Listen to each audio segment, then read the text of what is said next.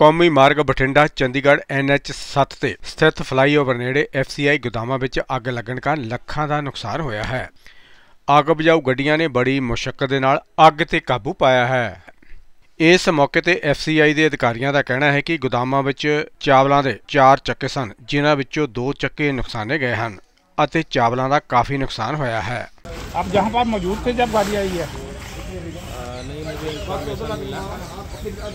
लेकिन गाड़ी तो दो आई है आप बोल रहे हो एक आई है गाड़ी। एक चली गई आकर। दो आई एक आके चली गई थी मेथा से और आग लगने का कारण क्या रहे कारण अब तो देखना पड़ेगा ना मुझे तो कितनी बोरी लगी हुई थी इन गोदामों में? जहाँ पर आग ने आग पकड़ी गई है कितने बोरी को स्टैक को? स्टॉक देखना पड़ेगा। नहीं एक चक्के में कितनी चार सुरेश? चार सौ। चार पूरा फुल थे ना? हाँ चारों फुल थे। फुल स्टैक थे चार फुल स्टैक कितने कितना दूरी लगता है सर एक? सर एक सोशल मीडिया में कुछ दिन पहले भी इनके एफ़ सी गोदाम तपा के बारे में चर्चा हो रही थी इनके कोई घपला है।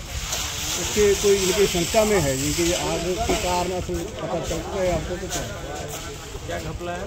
एक सोशल मीडिया पे पोस्ट चल रही थी। अब मुझे पता नहीं है मैं तो अभी जस्ट अट्ठाईस तारीख को आया हूँ। जो पहले मैनेजर आप आप डिपू मैनेजर ज़ीरो आपका नाम क्या? क्या नाम है आशुतोष कुमार। नाले आप जो दुवान चंद जी कह रहे हैं जो उस पार्किंग के साथ लगे आप मुझे पता है। जो दुवान चंद जी बोल बोल रहे हैं। आप जी आप मैनेजर हो ना उससे बड़े हो ना आप बड़े हैं तो नॉलेज तो जब तक सही नहीं मिलेगा मैं ऐसे क्या बोल? रहा हूँ क्या आप ही बता दो कि जो बोल रहे हैं वही बोल दो। ना नहीं आप नहीं बोल बोल रहे हैं ना। मुझे पता चलेगा आपका डिपार्टमेंट है आप आपका डिपार्टमेंट ही है ना? एग्जैक्ट मुझे पता चलेगा तभी तो एक मिनट ना बोलो तुसी ना गल नहीं कर तेरा काम नहीं है बल्ली बोलने का है ना एग्जैक्ट मुझे पता चलेगी क्या है उसके बाद ही कुछ बताएँगे। जनरली ऐसा केस में हो सकता है शॉर्ट सर्किट से होगा। सर जो स्टॉक बेचती हुआ है उसका क्या किया जाएगा? अब इसका मैनेजर क्यूसी अभी आएँगे?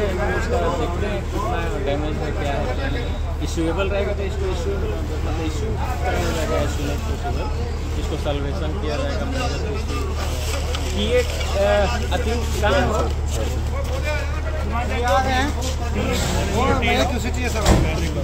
अप्रॉक्सीमेट कितना नुकसान हो गया? एक ऊपर के उच्च अधिकारी कुछ कुछ बैग्स हैं मुझे लगता है बहुत ज़्यादा तो नहीं है ਅਜੀਤ ਪੰਜਾਬੀ ਦੀ ਆਥੈਂਟਿਕ ਖਬਰਾਂ ਦੇ ਲਈ ਸਬਸਕ੍ਰਾਈਬ ਕਰੋ ਅਜੀਤ ਵੈਬ ਟੀਵੀ ਅਤੇ ਤਾਜ਼ੀ ਖਬਰਾਂ ਦੀ ਨੋਟੀਫਿਕੇਸ਼ਨ ਪਾਉਣ ਦੇ ਲਈ ਬੈਲ ਆਈਕਨ ਤੇ ਕਲਿੱਕ ਕਰੋ।